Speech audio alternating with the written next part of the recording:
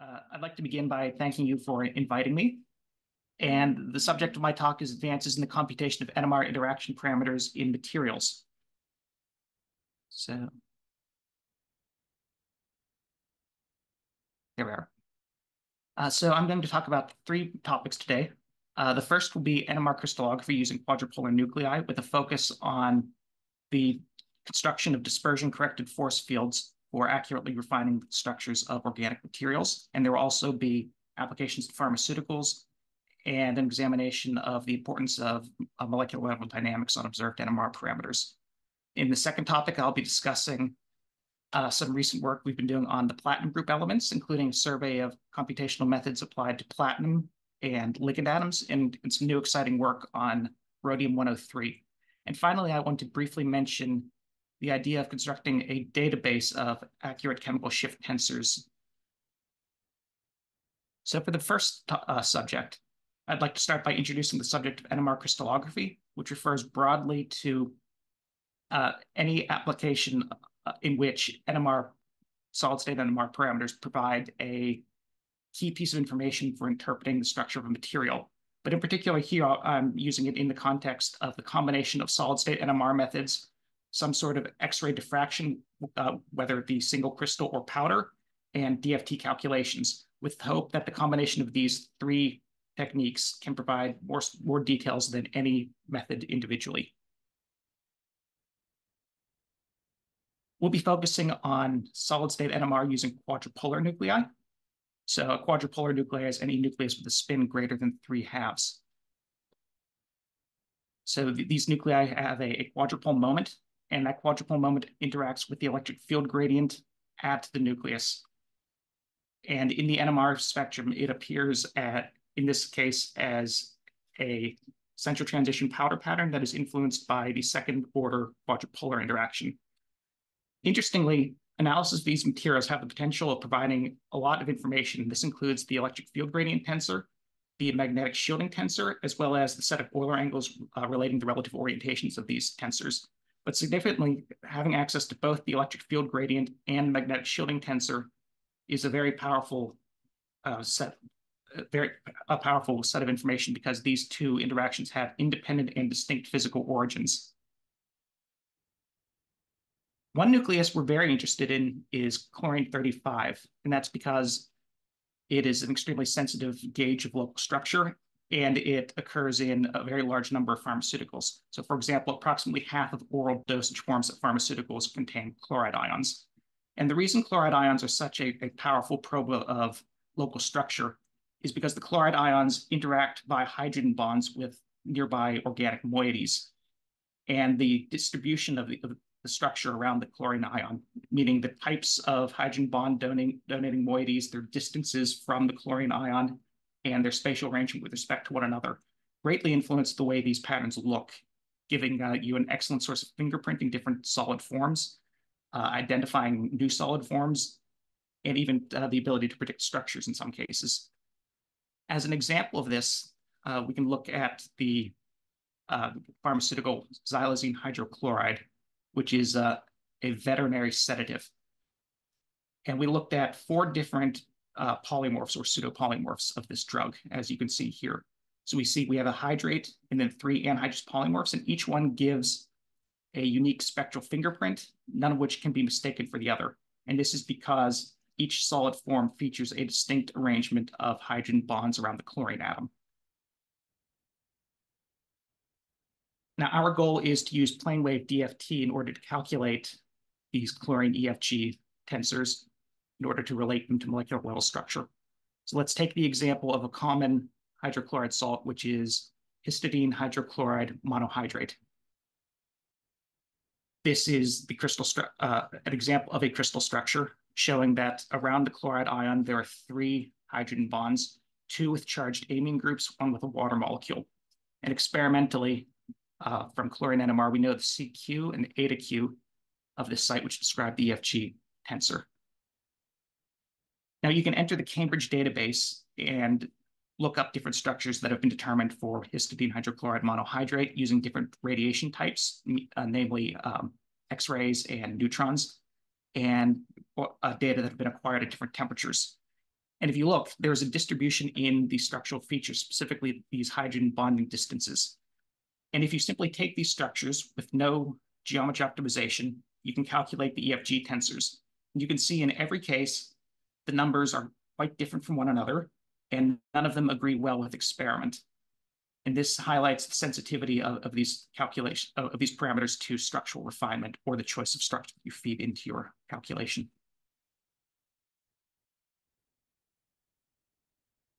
Let's take the example of a pharmaceutical called cimetidine hydrochloride uh, monohydrate. And we see an experimental uh, uh, powder pattern for, for chlorine uh, acquired at 21.1 Tesla. In black is the experimental pattern. In red is a simulation used to extract the EFG and chemical shift tensors.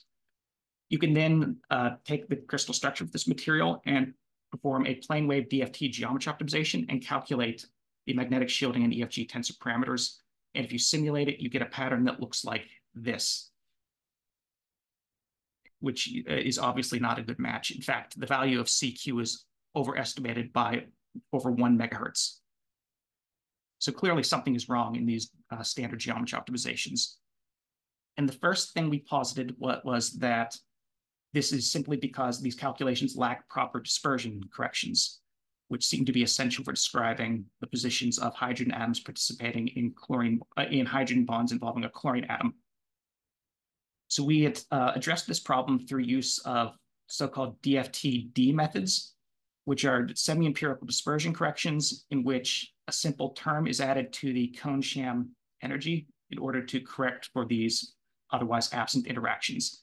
And the way you can visualize how this works is through the example of a layered solid like hexagonal boron nitride, where the, the main structural parameter that you can vary in a calculation is the distance between the adjacent layers of the material. And if you run a calculation uh, with no dispersion correction whatsoever, as in a standard DFT approximation, you end up with this blue curve in which you'll see there is no distance in which the energy between two layers is minimized. However, if you introduce some sort of dispersion interaction, you'll find an energy minimum, and it corresponds very well to the experimental uh, interlayer distance. We have, however, decided to take an alternate approach to designing these dispersion corrections, and this is through reparameterizing standard approximations in the literature through a training set involving calculations of EFG tensors on a variety of organic solids. So this training set consists of uh, uh, 15 nitrogen-14 EFG tensors, 25 oxygen EFG tensors, and 10 chlorine EFG tensors. And following the parameterization of some standard force field models, this is then applied to a much larger test set uh, consisting of uh, well over 100 systems. In these reparameterizations, we found that the most sensitive value, uh, sorry, the most sensitive, sensitive parameter is the so-called damping parameter. And in, in a series of geometry optimizations, one can simply change the value of this damping parameter between around two and a half up to an arbitrarily high number, perform the geometry optimization, get out a resulting structure, which are all subtly different from one another, and then calculate the EFG tensors and compare with experiment. And once you do that, you find that the best agreement with experiment is found universally when the damping parameter is set to around three and a half for EFG tensors. And so this uh, approximation leads us to these new force fields, which we call uh, D2 star or TS star, referring to the reparameterized version of these standard approximations that, currently, that are currently in the literature. So returning to the example of cimetidine hydrochloride monohydrate, you can see using the standard DFT approximation without this new dispersion interaction, we get a very large overestimation of the value of CQ. However, if we perform this new geometry optimization and calculate the EFGs for this new structure, we end up with this resulting pattern, which as you can see is a much closer uh, representation of the experimental pattern.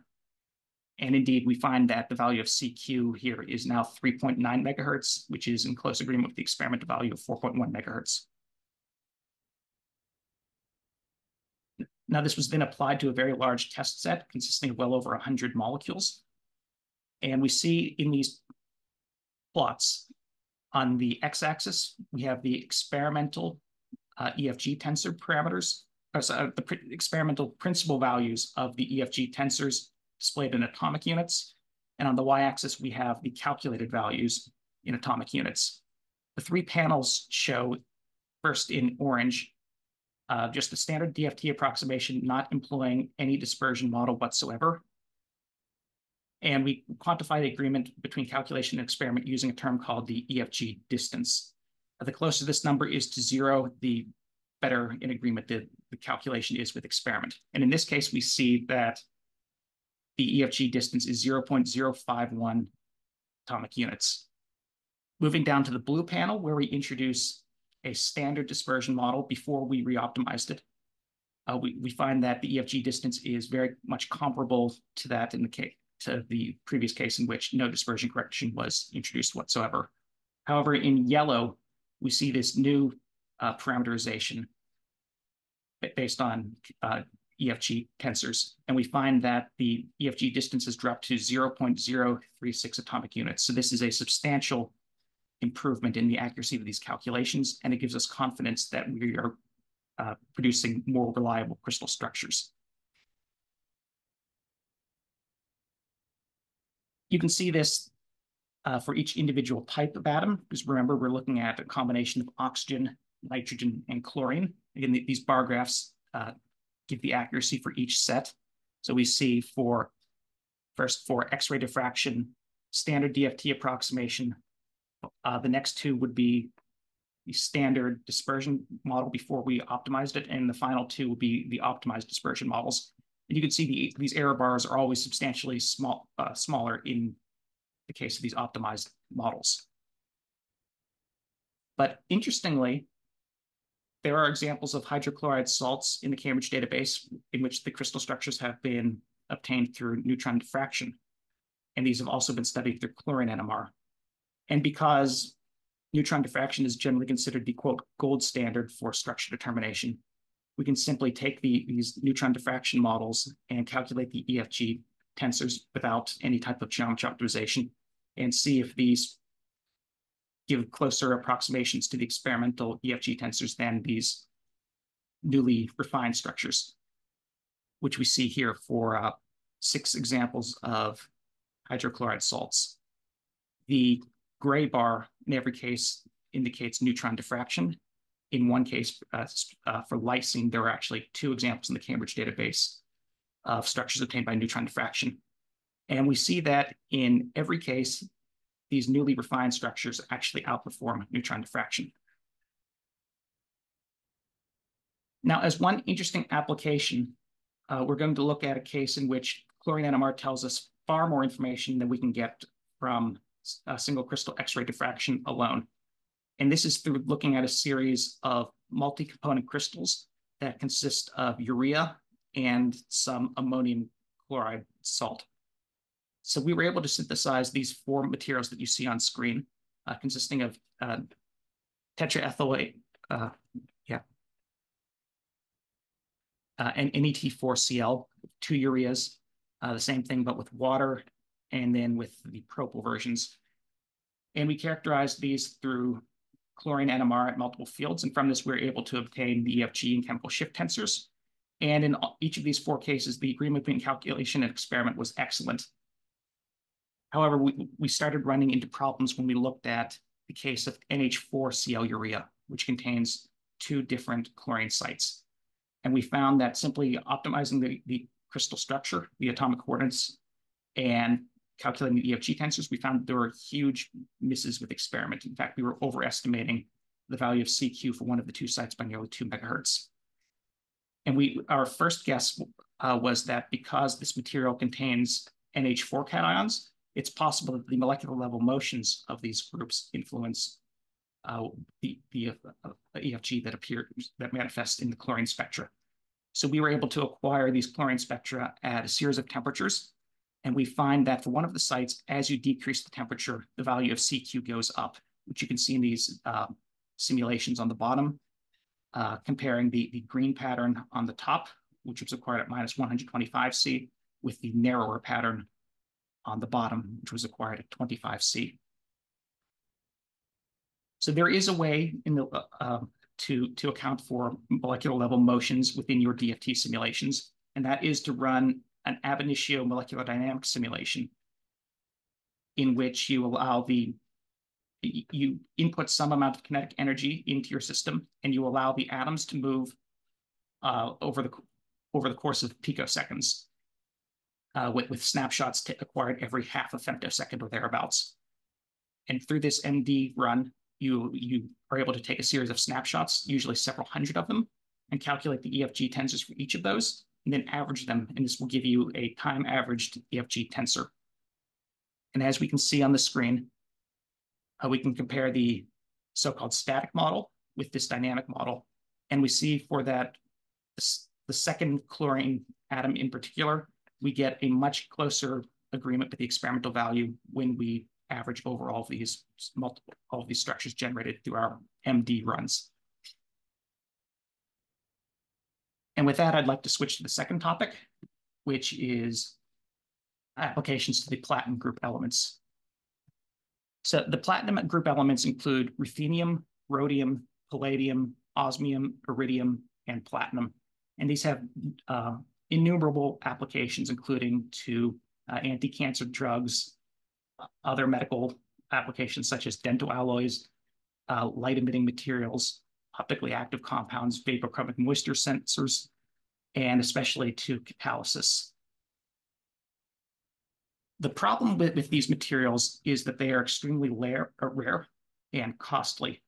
In particular, rhodium is the most expensive metal in the world. Uh, it's this is very unfortunate because these materials have all sorts of critical applications, especially to catalysis, as I mentioned. Now, the reason the platinum group elements are important is because of their unique uh, covalent donation bonding or dative bonding within coordination compounds. By dative bonding, we simply mean that electrons are donated from the ligands into the metal. And it's this particular unique dative bonding associated with the platinum group elements that makes them so useful in these applications. And so the goals of, of this research are to use the combination of solid state NMR spectroscopy and computational methods in order to understand the nature of this bonding. And ultimately, if we, we can learn, uh, learn something useful, we can potentially use uh, combinations of other transition metals and ligands in order to produce uh, advanced materials that have similar properties and can therefore replace the rare and costly uh, platinum group elements in applications. So I'm going to start with an overview of some important things you need to consider when calculating magnetic shielding tensors or potentially EFG tensors for materials containing heavy atoms. And there are three critical considerations. The first of which is when you can when your uh, material contains a heavy atom such as platinum, rhodium, etc., you have to include relativistic effects, and usually this has to be done at the spin orbit level. Second, you have to account for intermolecular effects, meaning the atoms within different molecules can interact with each other, and this sometimes has very large impacts on your predicted magnetic shielding tensor. Thirdly, you need to consider the type of DFT approximation you're using, specifically a type of functional. You, you have the pure DFT methods, such as the GGA approximation. You also have so-called hybrid models. And of course, with, with all of the, these um, considerations comes the increase in computational cost as the calculations become more advanced. For dealing with solids in particular, there are two different uh, methods available to you. You have periodic calculations, uh, these would be performed using, uh, for example, um, CASTEP. And for the uh, prediction of magnetic shielding tensors, this generally uses the GIPAW approach. Uh, your basis is made up of plane waves, and you use pseudopotentials to uh, model core valence interactions. Unfortunately, you are limited in several aspects. Uh, this includes the use of pure DFT functionals such as um, LDAs, GGAs, and meta-GGAs and you're limited in the type of relativistic approximation you can use, in particular to the scalar level. Uh, however, as, as we saw earlier, these methods have um, all sorts of benefits when, when, when, performing calculations on the, these um, organic solids. So this is not to uh, dismiss uh, GIPAW in any way. Now, the other uh, method available to us is to run calculations using clusters of molecules to represent the solid state. And you can do this in a software package such as ADF. Uh, the methodology for uh, predicting the magnetic shielding tensor is through the gauge including atomic orbital method. And here we're using a Slater type orbitals rather than uh, plane waves, an all electron basis rather than a pseudopotential basis. And it significantly, uh, we have access to really any type of functional we so choose. And we can um, use relativistic approximations up to the spin orbit level. Of course, this all comes at a computational cost, but these can be examined on a system by system basis, basis to see if that cost is necessary to achieve the best agreement with experiment. Another thing you have to consider is the difference between a molecular solid and a network solid. So in the case of a molecular solid, you can simply construct a cluster consisting of one molecule in the center and however many neighboring molecules in its vicinity you need in order to um, account for any type of hydrogen bonding or metal-metal interaction that happens to be in your system.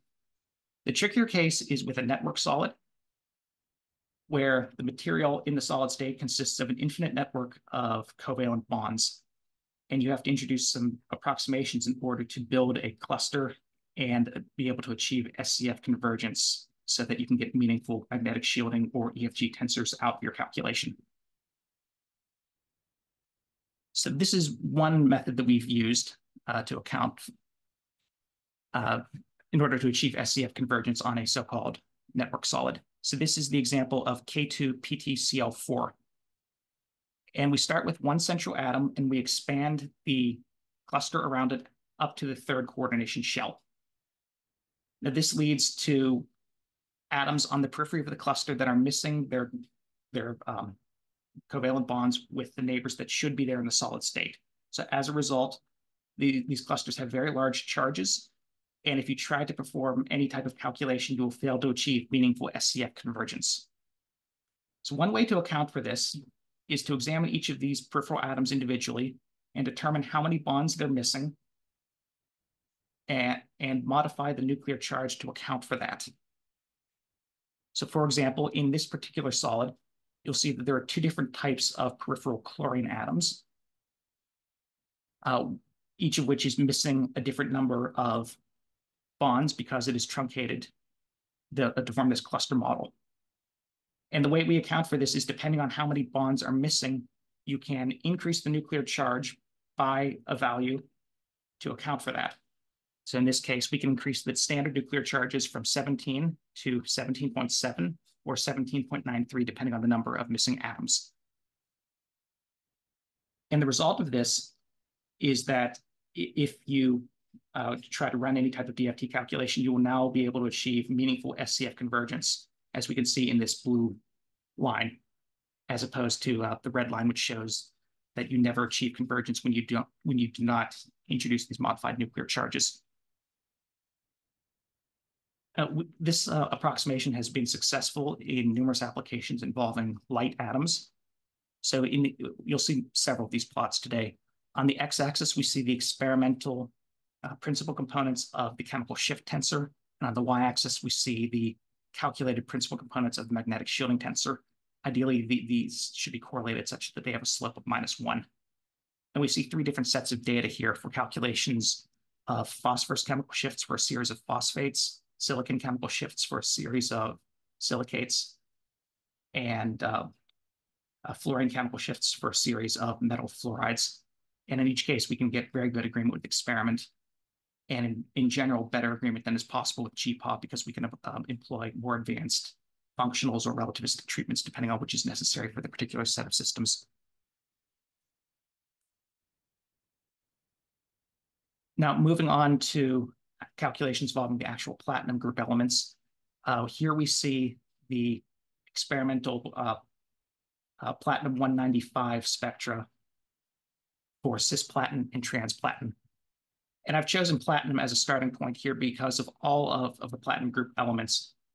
platinum is, is itself the one that is the most explored. So there, there are dozens of examples in the literature of platinum chemical shift tensors, and this affords us the opportunity to benchmark the accuracy of our DFT calculations.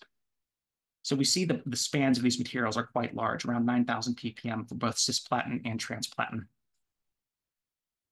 You can then um, uh, obtain structural models from the Cambridge database, subject them to a plane wave DFT geometry optimization, and then build clusters of increasing size in order to see what size of cluster is necessary to achieve the best agreement with experiment.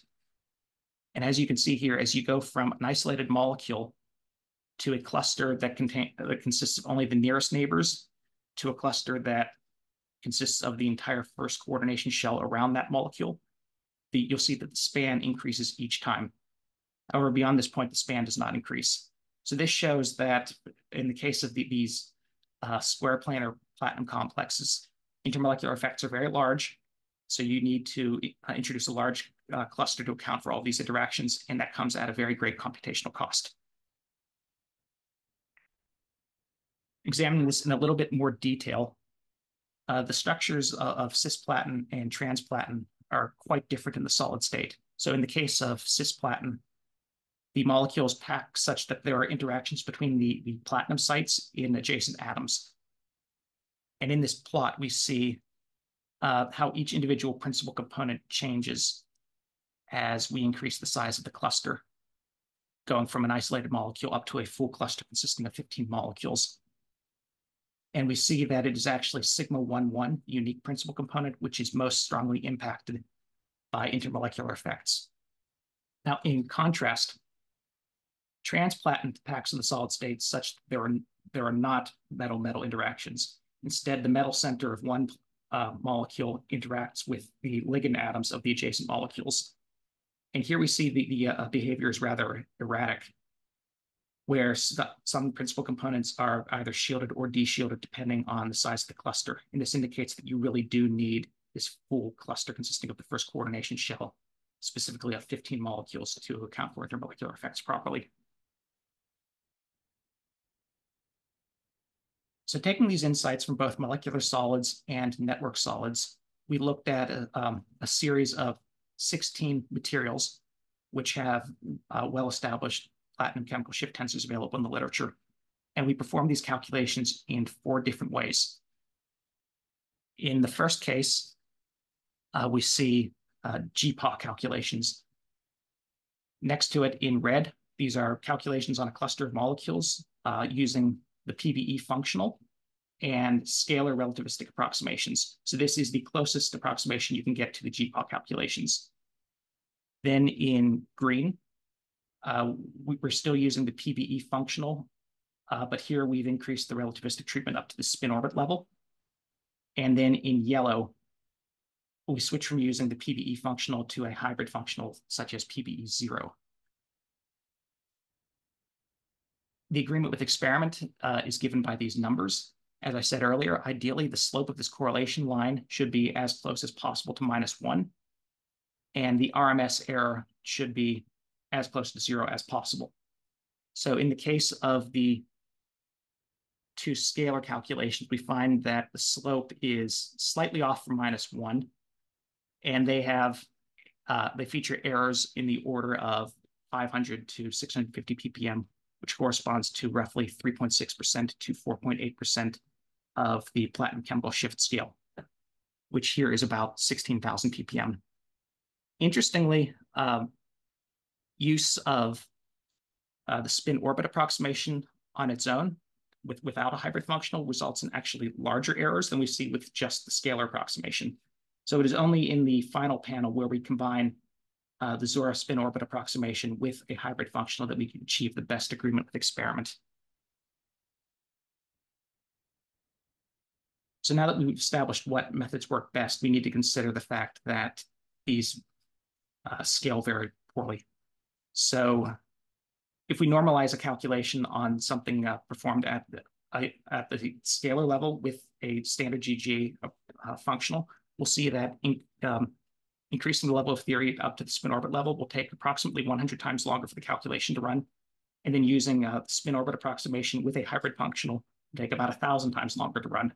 That means uh, in cases where your calculations take minutes to hours at the very low level, at the PBE zero SO level, these can take days or potentially even weeks.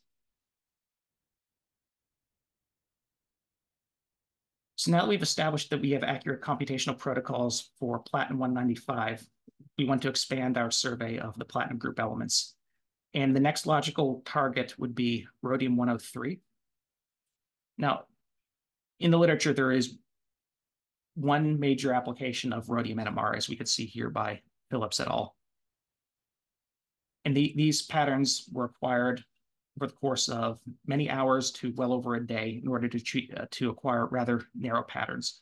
So before we can explore these um, systems computationally, we had to first develop a method to acquire experimental patterns efficiently. And here you can see six examples from our recent work in chemical science. So not to go into any detail on these, but we now have a method that allows us to uh, robustly acquire uh, ultra wide line rhodium 103 patterns with unprecedented uh, signal to noise and uniformity. We then applied the same computational approaches in order to predict the magnetic shielding tensors of these six materials. So again, this would be GIPAW calculations in blue, in red PBE scalar calculations, in green PBE spin orbit, and in yellow uh, hybrid PBE zero spin orbit. And just as was the case with platinum, the best agreement with experiment is only possible when using the most expensive computational approach. And we can see this through uh, the deviation of the slope from minus one, especially in the, the PBE zero, uh, sorry, the PBE SO case. And the uh, RMS errors, which are greatly minimized to 150 ppm in the final case. So now that we have some confidence that we can predict, that we can measure these patterns and then predict the uh, rhodium magnetic shielding tensors accurately, we can then use natural localized molecular orbital uh, calculations in order to interpret bonding in these systems. So I won't go into much detail on this, but if you're interested, this, this is uh, outlined for all these materials in the paper. But the, the bottom line is that we can interpret the observed magnetic shielding tensor, but the isotropic shift and the span of the chemical shift tensor in, in terms of contributions from individual orbitals. And the orbitals that most influence uh, the appearance of the pattern and which differ between molecule to molecule are the uh, rhodium 4D states and the rhodium ligand bonding orbitals. So this means we now have a pathway in order to interpret uh, bonding in the platinum group elements and potentially apply this to finding uh, replacement materials. We are also expanding into looking at um, multinuclear NMR studies of ligand atoms. So this is one example of uh, a rhodium dimer uh, with chlorine bridging atoms and organic ligands. And we were able to acquire uh, the chlorine spectra, the chlorine spectrum, and the carbon spectrum. So from the former, we're able to acquire, uh, obtain the chlorine EFG tensor, from the latter, the carbon chemical shift tensor. And this provides a nice complementary pathway for examining uh, bonding in these platinum group uh, complexes, possibly uh, combined with NLMO uh, calculations in order to uh, predict, interpret the, um, the spectra in terms of bonding. However, of the ligand atoms available to us in the literature, there is currently a, a very large um, set of uh, measurements of phosphorus 31 chemical shift tensors, specifically materials in which phosphorus serves as a ligand with a platinum 4 species. And so we have calculations here on eight different systems uh, again, performed uh, in four different methods, uh, the same as before. So the first two, uh, blue and red panels are performed at the scale level, and you can see the, the amount of scatter in these plots is terrible. However, in the bottom two panels, uh, we see that once you introduce spin orbit effects, you get far better agreement with experiment. And this gives us some confidence going into the future that we can use the combination of the metal NMR and the ligand NMR in order to uh, verify that our calculations properly describe the electronic structures of the system and use NLMO uh, analysis in order to determine the nature of the metal ligand bonding. Just to finally mention, we've also made some recent progress on ruthenium NMR, where we see these two patterns, uh, two sets of patterns wired at 18.8 18 Tesla and 35.2 Tesla uh, for, for these ruthenium organometallic complexes. And this is exciting because ruthenium is the first example of a PGE that we've been able to acquire, which is a quadrupolar nucleus. So this gives us access to both the chemical shift tensor and the EFG tensor. So we can potentially get more information out of uh, analysis of these ruthenium patterns than either the rhodium or the platinum. And then very quickly for this final subject, I want to mention the idea of establishing a database of accurate chemical shift tensor measurements. So uh, chemical shifts are probably the most important and widely used uh, parameter within NMR. But despite the significance uh, of these measurements, there is no uh, large database of chemical shift tensor parameters that are uh, readily available to researchers. I note that there are a number of review articles which, which provide uh, sets, sets of data from either individual nuclei or classes of material. But the largest um, database to date, or the largest comprehensive survey, was by uh, Michael Duncan in his uh, book, Principal Components of Chemical Shift Tensors, which was published uh, in 1997. But since that date, um, there has been no major progress. So as a first attempt towards this, uh, I've been looking at establishing a database of carbon-13 chemical shift tensors and, and also validating these measurements through complementary DFT calculations. And for inclusion in this database, I've considered the following criteria. First, that all of the uh, carbon sites are resolvable and unambiguously assignable, that there are accurate crystal structures available, and that none of the data show any complicating factors such as uh, disorder or a strong influence of molecular level motion that could impact your measurements. And this validation includes going through Duncan's compilation, which consists of hundreds of, of examples of uh, carbon chemical shift tensor measurements and validating every single one of them through DFT calculations. In addition to that, I've looked at uh, numerous papers that have been published in the subsequent three decades since Duncan's paper. And here we see the results.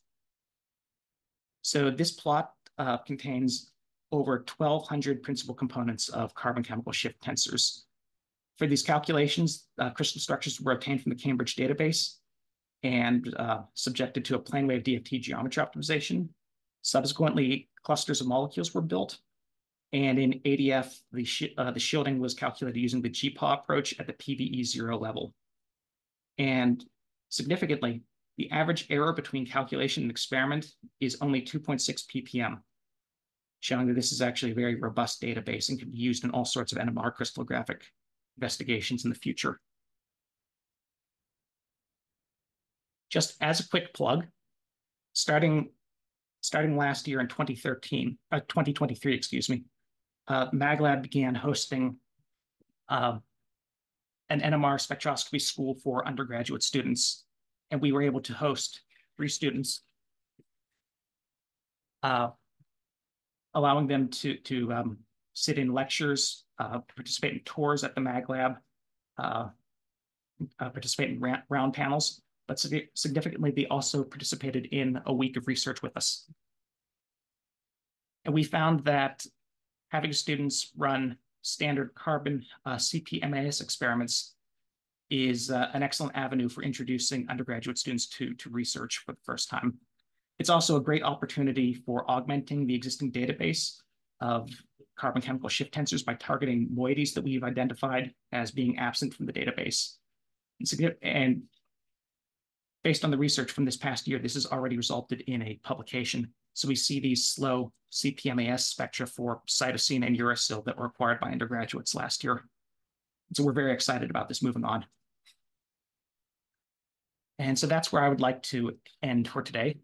Uh, I would, of course, like to thank Professor Schurko and the rest of our group at FSU, uh, as well as our former students, uh, the MagLab summer school students or winter school students, and our collaborators at the University at Buffalo who participated in the PGE project, uh, specifically uh, Jochen Autschbach and his group. And I, of course, would like to thank uh, the organizers for inviting me and you for listening.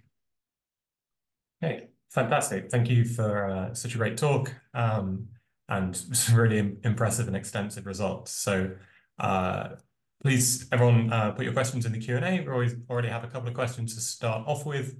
Uh, so more of a comment from um, Joseph Sondiger, who mentions the ABINIT code is able to do, is a plane wave code that can include uh, spin orbit coupling. Is that something you have any experience with or know any comparisons between that uh, and, and uh, ADF?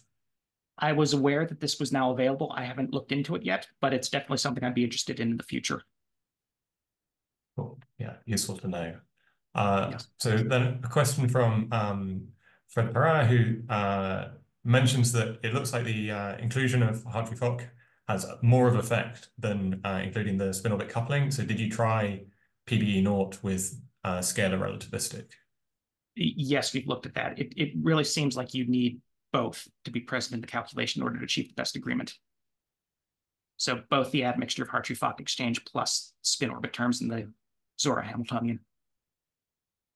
Okay. Not an easy solution then to the computational cost. Uh, another question um, from Fred, uh, who mentions that the 3 ppm error on the on the tensor components is is really impressive and actually kind of smaller than the typical experimental error. Um, have you considered comparing the accuracy on higher accuracy data such as single crystal NMR um, to see if it's even better? Is you know is it limited by the experimental accuracy? Yes. So in the database I'm putting together, we, we do have many examples of single crystal data. Un unfortunately, um, uh, the single crystal data is limited to a handful of different types of chemical moieties, so this comparison is rather difficult to make. So it seems we get the the, the best agreement um, when we're dealing with simple hydrocarbons or things that only contain oxygen. Whereas if your material contains uh, nitrogen, you have the you can have the potential effects of residual dipolar coupling, which could increase the experimental uncertainty in your data. Okay. Uh, so a question from uh, Athul, who um, thanks for the interesting talk, and um, asked about comparison between um, GIPAW and GIAO. Uh, specifically? Uh, In terms of well, the, uh, I guess, the accuracy. Oh, oh okay. Um, well, the, the benefit of GIPAW is that you inherently account for intermolecular interactions. GIAO, you can do this as well, but you have to include a, a large cluster of molecules. But really, if, if, if, you do everything else as similarly as possible, I've shown in previous work that you get essentially the same result out.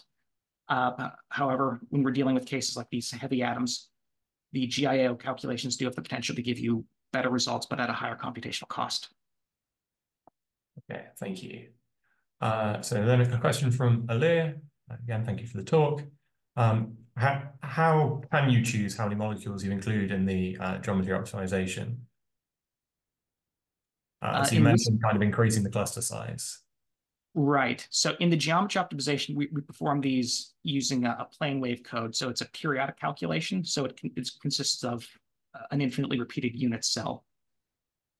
Uh, the more interesting question is how how many molecules you you choose for calculation of the shielding uh, within mm -hmm. ADF.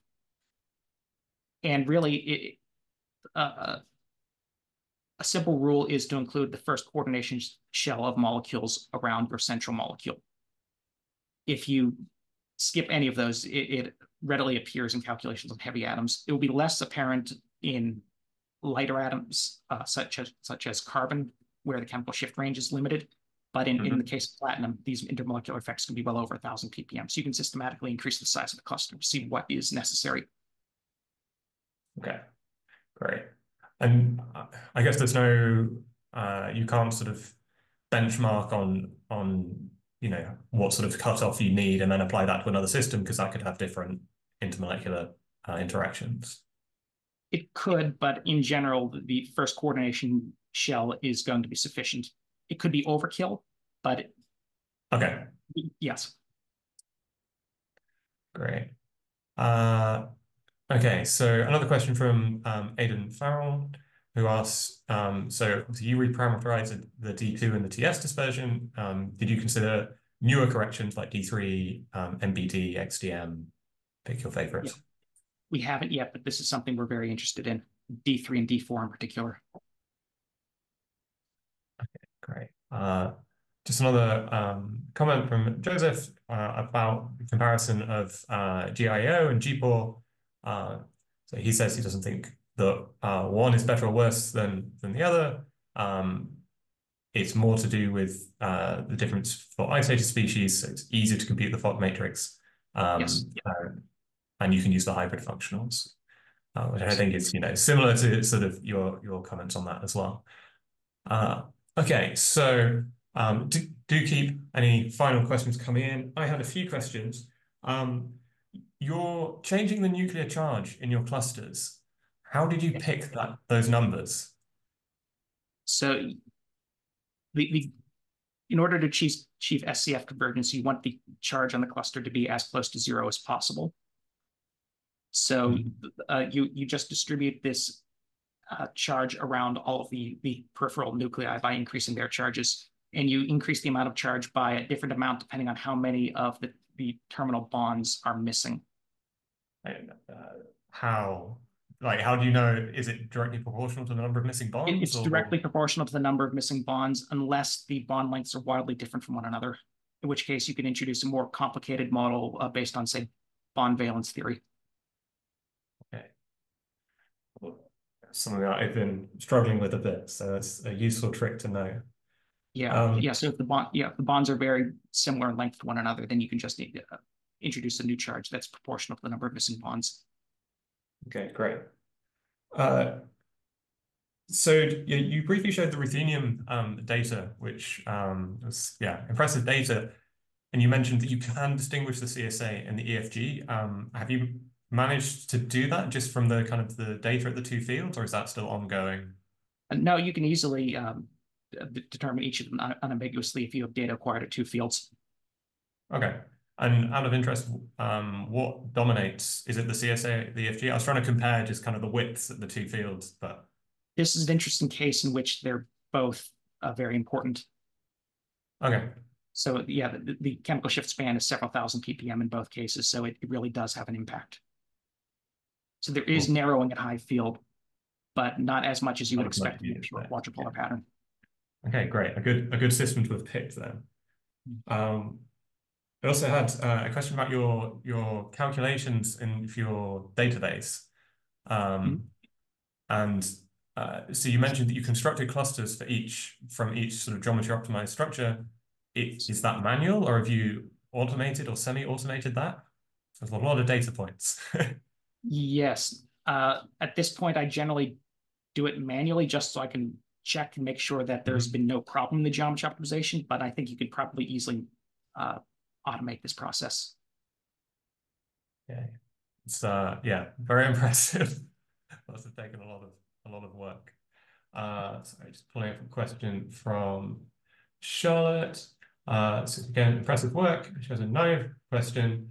Can the simulations be used to create a database to deconvolute complex spectra?